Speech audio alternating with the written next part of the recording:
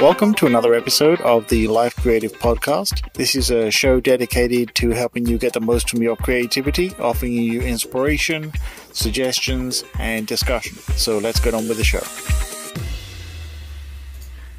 In this episode, I am hoping that I can give you some inspiration and some ideas to keep yourself creative and more importantly, keep yourself motivated and focused in these difficult times while most of us are stuck at home. So let's go ahead and get on with it. So at this point, many of us around the world are now essentially stuck at home or stuck wherever we may be. And hopefully, it's something that's not too rough for you and you're able to deal with it. But one of the problems becomes, you know, we are social animals by default. And so we can only go so long without being around other people. You know, yeah, sure, you're at home with family, I hope, or maybe you are at home by yourself and trying to find things to do. So, in the meantime, here's a few suggestions as to how you can try and find ways to occupy yourself and, you know, let's focus on the positive and not dwell on watching the news around the world and the miserable situation going on. Certainly keep an eye on it, but don't let it get you down. We'll get through this. So the first thing is invent a project. Okay, invent a project for yourself that you can do at home in your house. I am sure there is one, and I am sure that when you stop and think about it, there's probably more than one, and you just have never really thought about it before because we are so used to expecting to have to go out in the world to do these things. A prime example, right? You know, so many people, uh, photography, for example, you expect to go out and take pictures. Well, you know, there are so many projects you can do at home. Okay, in the previous episode, you know, I suggested documenting, you know, the current situation, you know, document what it's like to be stuck at home during this time.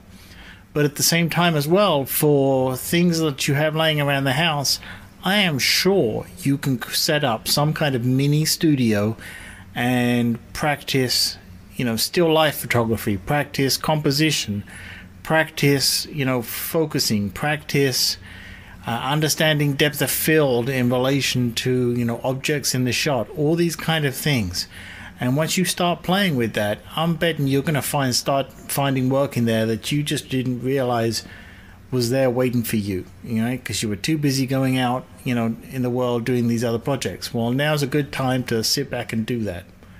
So, a second suggestion kind of follows the first one a little bit. Practice your skills, whatever it may be. Practice your writing, practice your painting, practice your color control, your color mixing, practice uh, working with your camera. You know, under make sure that you play with the settings with your camera. Maybe try out some of those modes that you've never tried before or have always avoided you know, maybe you always set it to manual, and you know now's a good time to just set to some of those automated presets in the camera. You know, aperture control, uh, shutter control. You know, full program, whatever it may be. Just play with the equipment and the tools that you use on a regular basis and get to discover some of that functionality that you never noticed before. So that's the second suggestion. Let's take a quick break and I'll come back with a couple more. Have you ever thought about creating your own podcast? Uh, certainly, you must like podcasts because you're listening to this one, and I'm sure many others. Well, if you've ever thought to yourself, I bet I could do that better, or I have a subject that I'd like to make a podcast for, then you can go ahead and do that very easily using Anchor.fm. In fact, Anchor.fm is the site that I use to host this very podcast. And what I like about it is they provide me all the tools and walk me through all the steps to not only creating my podcast, but very easily taking care of all the necessary details for distributing it as well. So if you want to go ahead and easily create your own podcast, start today on anchor.fm. That's anchor.fm. So, number three would be go back and visit old projects. Maybe they're projects that you abandoned or lost interest in, or maybe it's a project you couldn't complete for some reason, and I'm betting when you go back and look at them now, you'll either maybe find a way to complete it or become, you know, re energized to want to work on it again. Or maybe you'll look at it and realize what was wrong and take it in a new direction. But I'm betting there's plenty of old projects you can go back and look at and and maybe bring them back to life and try to finish those off. I know that I certainly have a few of them that I'm going to be revisiting. Number four would be to pull out that old equipment. You know, for example, I love to keep my old cameras, even some of the film cameras, and you know, there's several reasons I have them, but I, you know, I just like to have them around. But it's fun sometimes to pull out that old equipment that can seriously limit your creativity in some way with whatever it's capable of. Maybe it's some old brushes that you liked. You know, maybe you had some particular favorite paints or, you know, maker of paints, something like that. Or, you know, something as well. Maybe uh, if you do calligraphy and, you know, fonts and things like that and writing, maybe there's a pen that you don't use anymore that you used to just love to use because of the way the ink would flow onto the page, you know, some things like that. So pulling out old equipment and playing around and creating projects with that can be fun. You know, that's right in line with the other tip about, you know, you know, exploring settings of the equipment that you have now and, you know, trying different things and seeing how it works for you. Maybe that'll spark some ideas.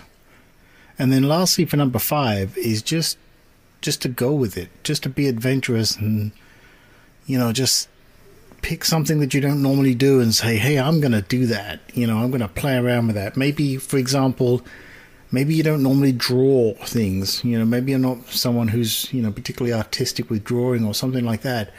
Pick up a pen or a pencil and a piece of paper and just start doodling and just, you know, let your brain wander and, and see what comes out of it. You know, sometimes you discover new ideas and things that you didn't even know you could do once you just sort of set yourself free and say, there's no limits on this project, right? I'm going to just go with it. I'm not going to plan any of it. I'm just going to see where it takes me, right? Maybe it's editing some video in a new way. Maybe, you know, recording a podcast, you know, something like that. Maybe recording some music, playing some music, playing a style of music you don't normally play, any of those kind of things.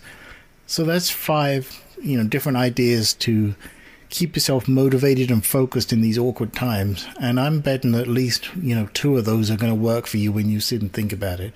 I would love to hear how this works out for you. You know, go to peterwitham.com forward slash contact. I would love to hear how this works out, and maybe I can share some of those results with the listeners. So, you know, with that, let's leave it there. Stay motivated, stay focused, hang in there, we'll get through it and you know let's keep that creativity alive as i say and see what projects we can make